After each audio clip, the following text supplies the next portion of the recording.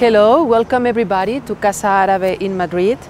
We are here to present the current exhibition that we are holding in our building, in this magnificent building that is, uh, dates from the late 19th century and it was constructed in this neo-Mudéjar style or neo-Moorish style that was the style that many architects of the time mainly Madrillian architects embraced following the line of the Romantic Orientalism of the time and inspired, very much inspired on the Islamic and, uh, architecture and legacy. And this is the building where we are holding now the beautiful exhibition Without Borders, Sin Límites in Spanish, which is the project that we have put together with the Jordan National Gallery of Fine Arts. But before going into the building and visiting the exhibition, I would like to give the floor to Dr. Khaled Khreis, the director of the Jordan National Gallery of Fine Arts, who from Amman is going to give you some introduction on the curatorial concept of this exhibition. As you know, the Jordan National Gallery of Fine Arts uh, uh, did in the past many exhibitions in different uh, countries and uh, uh, places, uh, cities from uh, the beginning, since 1980. Uh, uh, now we continue with these exhibitions and this time we we decide to have this exhibition at Casa Árabe. Uh, we decide to to represent this uh, these artists, 16 artists, young artists, a new generation with a new blood, new ideas. The idea is uh, about the borders, uh, unlimited. We call it unlimited. It's about the border, not the borders, the physical borders, but political, social, uh, gender, etc. Uh, there are many borders. And we want to break the uh, stereotype about the arab world and islamic world you know? Uh, from two parts from the west and uh, also from the arab mm, towards the west. I, am proud of these uh, uh, artists. They represent themselves their ideas uh, their feelings, their wishes to arrive to the West, uh, to have the uh, communication, to build bridges for the good and best future for the humanity uh, around the world. I mean, the idea of the art is uh, in this case, uh, or the idea of this exhibition is that we have also many things in the future. Uh, we established a platform uh, at the Jordan National Gallery called Factory, and through Factory we we can do many projects. We have actually four projects uh, in international uh, level.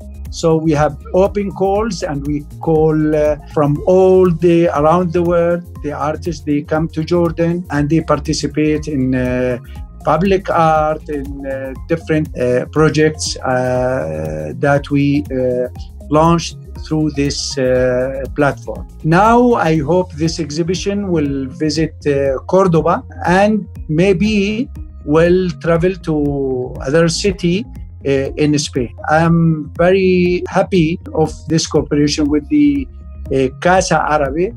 They are very professional. We did a good uh, job between them and us. And uh, the idea is to have a good relation between uh, civilizations, between people, to look for the environment, to look for the justice, to live in a nice, because now as you know, uh, we are in a bad situation around the world and there are many problems to resolve.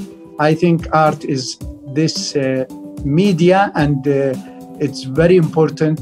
Uh, art has to many important role in these issues. I can say that uh, also the Jordan National Gallery now from the permanent uh, collection uh, we will have a, a, big exhibition. It's about Africa because Jordan National Gallery of Fine Art has a, a big uh, collection permanent collection from the third world as uh, developing countries, we say, let's say, and it's uh, unique in the world for that reason. And we can do, and as we did before, uh, many exhibitions of art from Jordan, from Arab countries, from Islamic countries, etc. I think that uh, this exhibition will give us uh, and the public uh, the idea, an idea about the African art today. Uh, and uh, we will follow and continue with our activities. The Jordan National Gallery play a, a very important role in the society we open to the our local society. we have also very important project we call it mobile uh, museum or touring museum that travel every uh, Tuesday uh, to um, different villages in Jordan. This is we launched this project 2009. Uh, till now, we visited more than 400 uh, villages. So it's a kind to, to arrive to the people that they cannot come to see the museum, but later they can come and uh, we have to do very important. The museum now has to to change many things.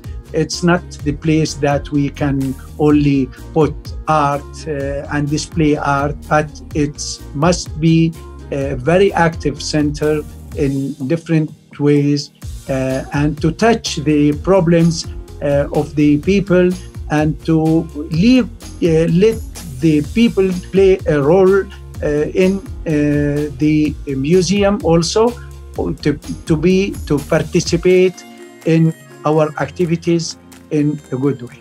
Thank you. Thank you very much for your interest and for uh, uh, everything. And uh, it's a good, uh, it's a pleasure, a great pleasure to participate in the date that you mentioned.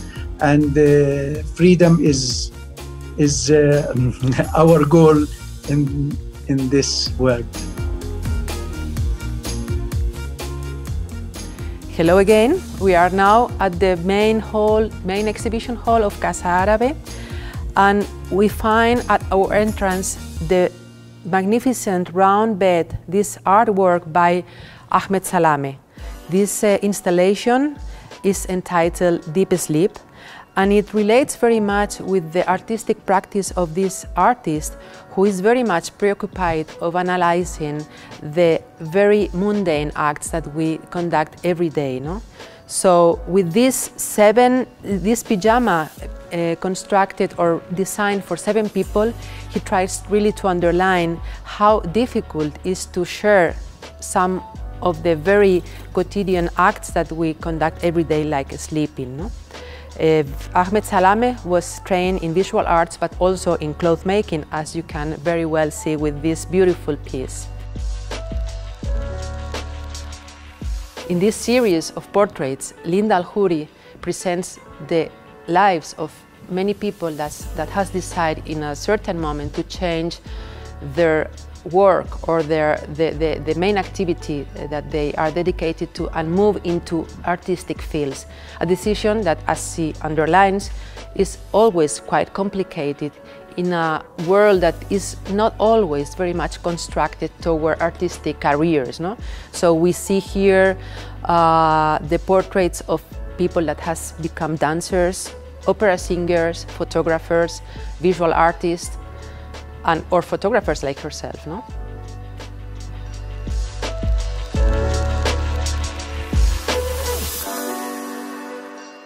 Firas Shehade, a visual artist that has worked very much on video, new technology, sound, and his work is very much connected or related to the issue of migration and the borders. No? Uh, in this uh, work uh, entitled Unidentified, he's trying to really present the case, the problematic of migrants that come to Europe and has to really erase the trace that they can, by which they can be identified. No?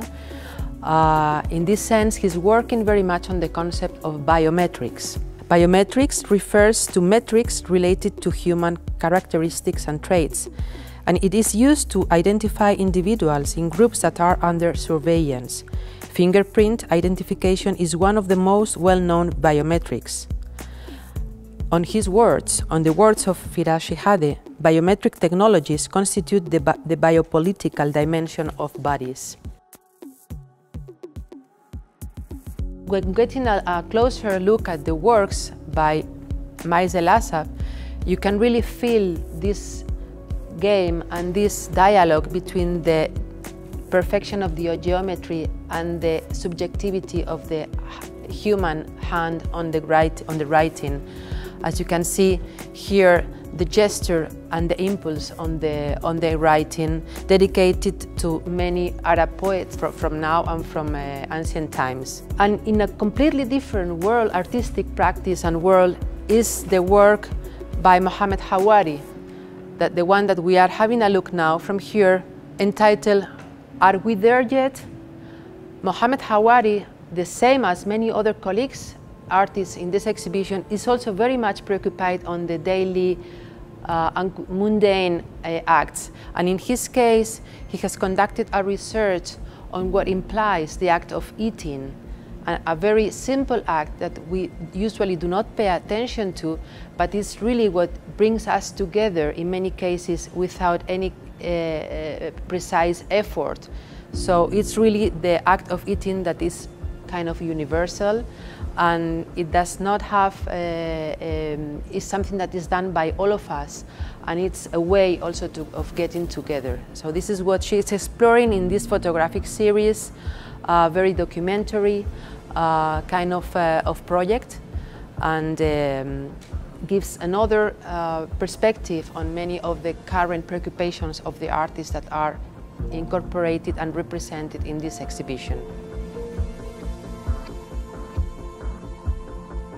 And also connected to the very topic of home and uh, feeling very much the need of connecting to the roots or to the, to the place where we all be, belong to is the work of this artist Ahmed Al-Khalidi who is a graphic designer who lives now in Australia but whose life has brought him to many different countries.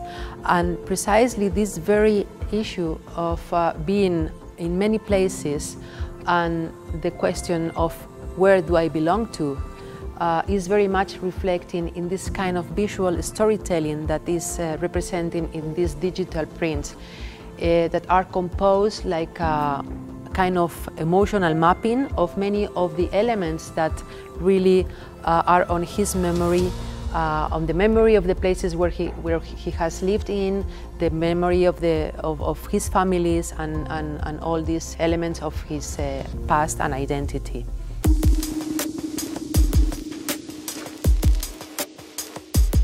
Well, our visit comes to an end and we have at the end of the exhibition this beautiful interactive installation by the artist Asia Al-Shishani entitled intersubjectivity, which really uh, invites the visitor to take a seat at the table and to experiment the act of talking, the dialogue, and how it does it, how is it is registered in this machinery that the Asia has uh, designed um, that records the words of the two uh, interlocutors.